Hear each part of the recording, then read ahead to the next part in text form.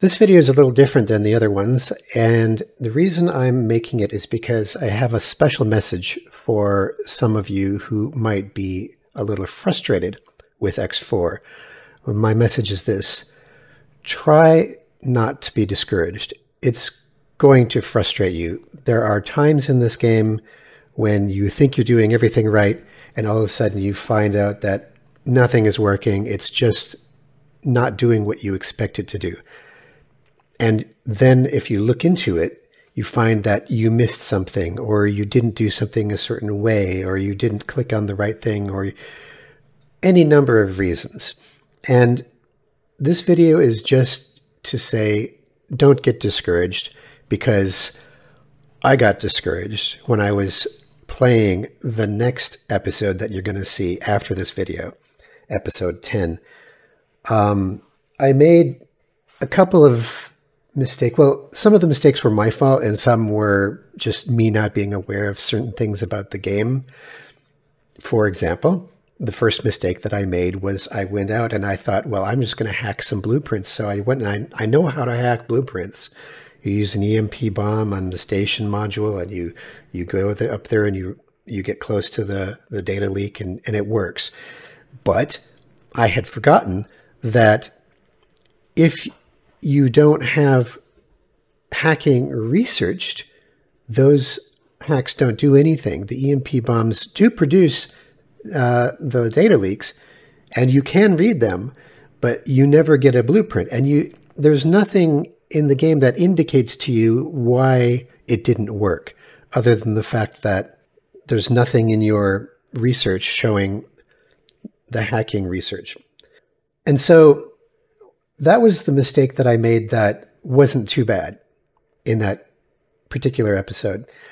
The next thing that happened was I didn't realize that in Avarice, now Avarice is a system of three sectors, and the sun of Avarice periodically blows up Uh, it isn't it whole explode like a supernova, but it, it has a shockwave that comes out every hour and it lasts for a minute.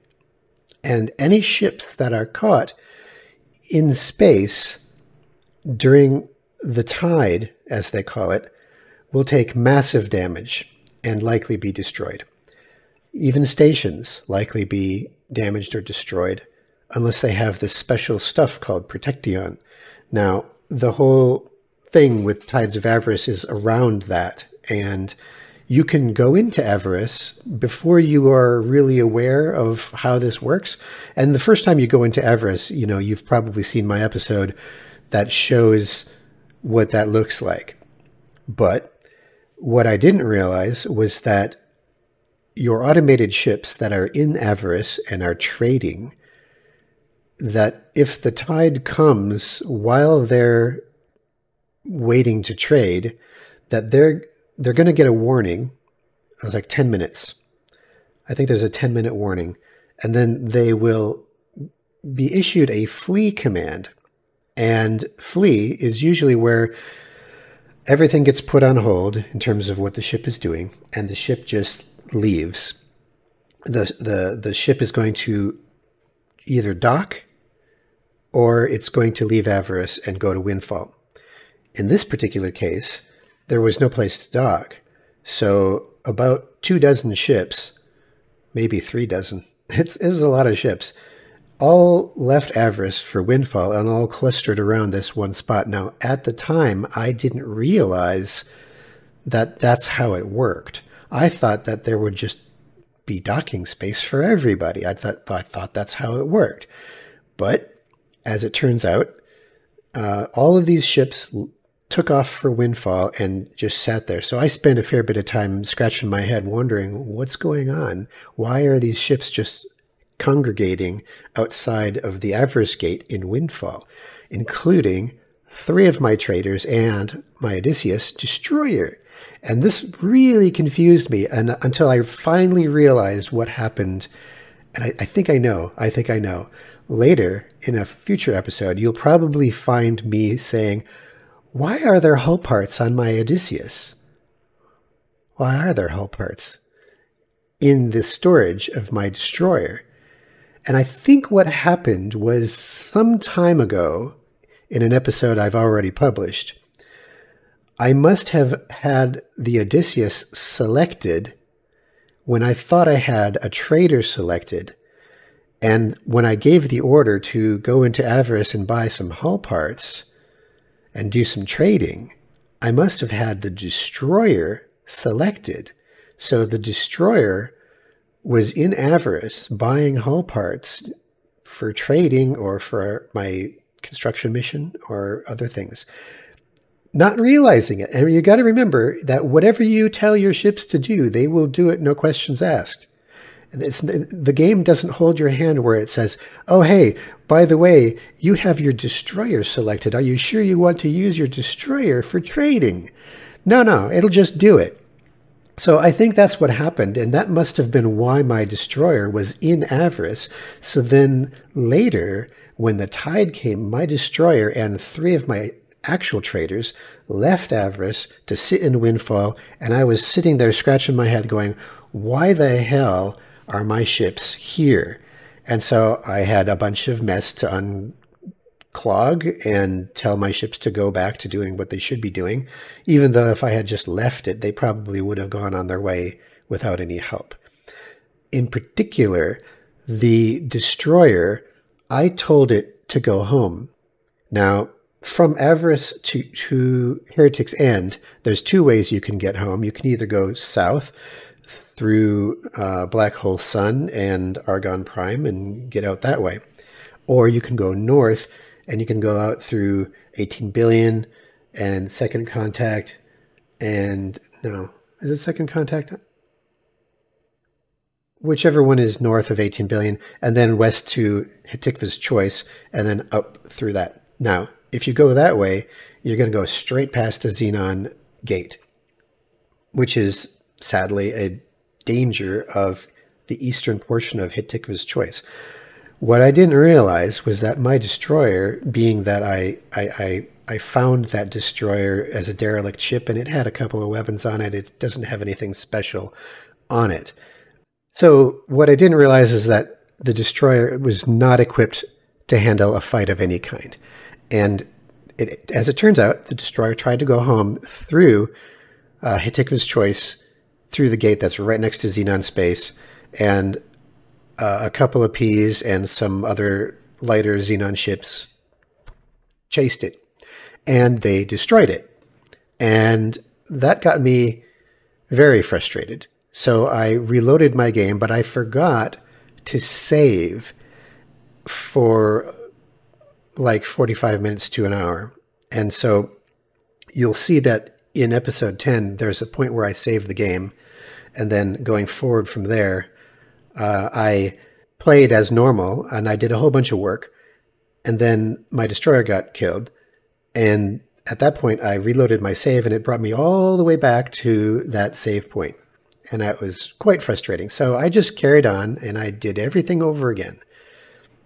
Well, the next thing that happened was I was given a mission to go meet somebody's contact in some shady location. And it sounded very much like it was just, you know, meet with somebody, typical fetch quest, and you, you're going to uh, get instructions to go somewhere and do something. Well, as it turns out, when you go and meet with this person under the highway, as it happens, uh, you get ambushed. And I was in my scout and I got killed and I didn't save. And it took, and that was about an hour or so of game time again. And that brought me back once more to the same save point. So this was the second time that I got brought back to that save. And for some reason, I forgot to save uh, before going on the mission. So if there's any lesson to be taken from this, it's a, a couple of things. First, save often because especially in X4 6.0 and forward, uh, saving is a lot quicker than it used to be. It used to take a long time. But now saving only takes, you know, 10 seconds or something like that. So save before you do anything risky. I just urge you to do that. The second thing is don't get discouraged. You're going to make some of these mistakes, just like I did in this episode. And it's a learning lesson. Try not to get frustrated with yourself or the game, and don't rage quit the game because it's a great game. Um, but it is discouraging. I understand that. And to this little uh, video that I put together for you as deleted scenes of the bit that I couldn't put in episode 10. This is the part where I made the mistakes. Have fun watching. All right. Um. Oh no. Oh no, no, no, no, no, no, no. I just realized something that I completely forgot to do. You have to you have to research dock module hack before you can even do this. All right, my mistake. That's part of the game. Part of the game is forgetting to do things how the game wants you to do them. So then you have to go and do the thing you're meant to do. So I'm going to cancel research on teleportation, and I'm going to start. This will allow you to gain blueprints by scanning leaks on certain modules. Production production module hack because guess what? There's five different hack hacking research there's five different kinds of research for hacking, and the one you want has to be the one you're trying to acquire, which in this case is production module. So start research. I'm going to need all of these materials. I will need some materials to get started. And the best thing I can do right now is to direct my trade ships to getting this done as fast as possible.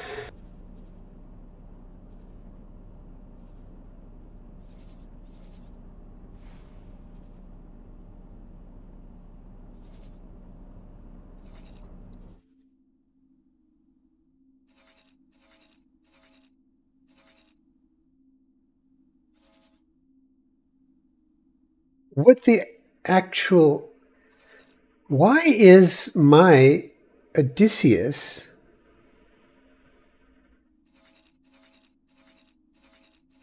in Windfall? Why is my Odysseus in Windfall? When did I ever? Why are four of my ships sitting in the same. What?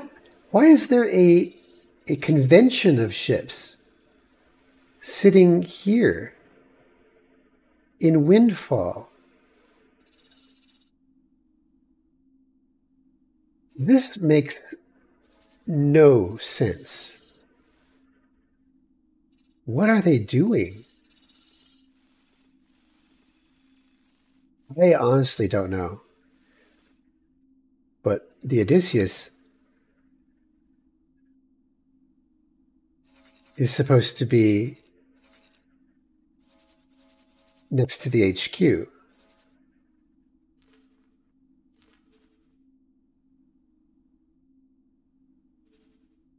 And all three, all three of my traders have been sitting in Windfall doing Jack.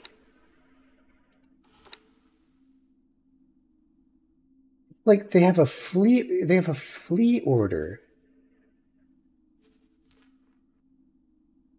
What worth? delete delete delete delete.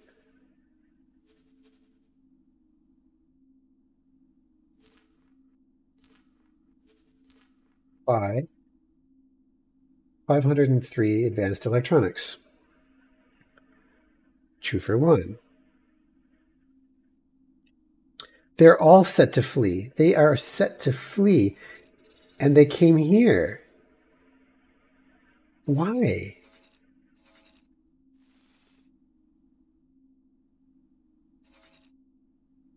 Honestly, that makes no sense.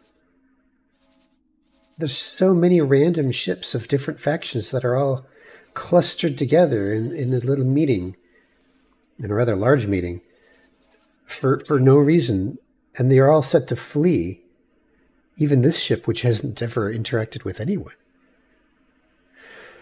Okay, well, time to get things fixed. I don't know what to do about these ships. I guess they'll have to figure it out on their own, but holy cow.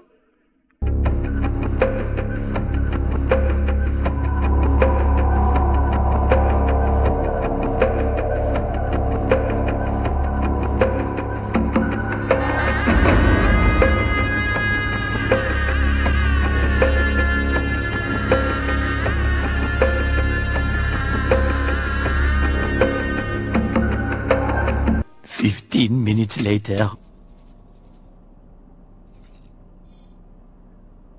I still can't believe my destroyer ended up parked here.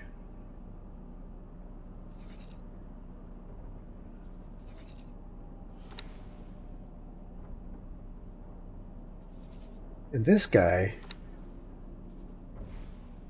Lee, what the hell? What are they fleeing? Is it, is it, were they fleeing the tide? Is that what they were doing?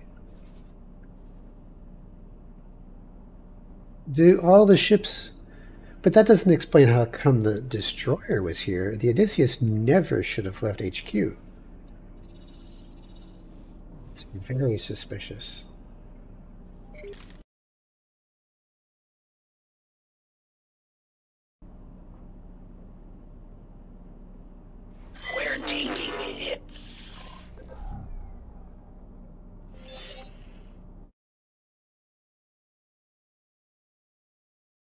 Odysseus is taking hits. What? What?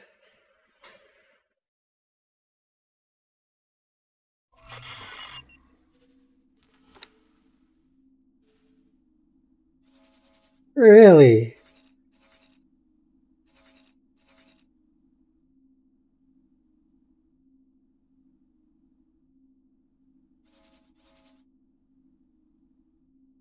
There's a P,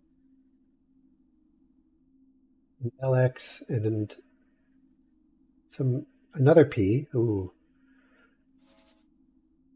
It probably won't hurt the Odysseus, but that's a significant rating force. Where's where's the Argon that should be kind of fighting them?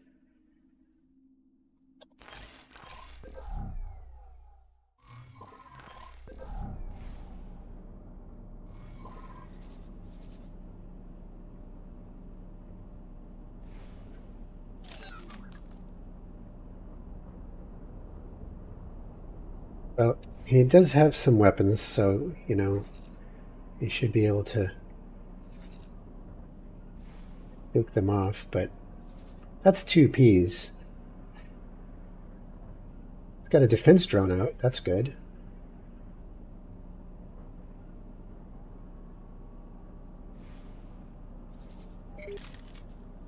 I wish I could teleport over there.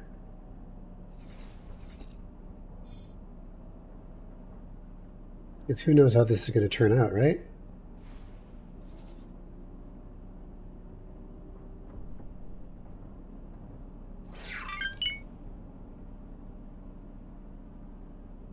Come on.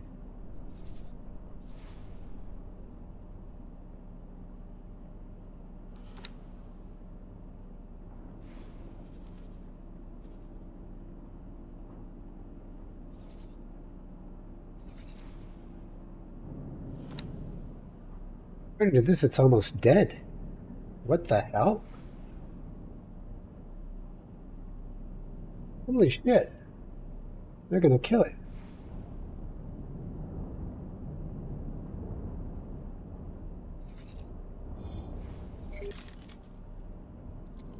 Wow, they killed it.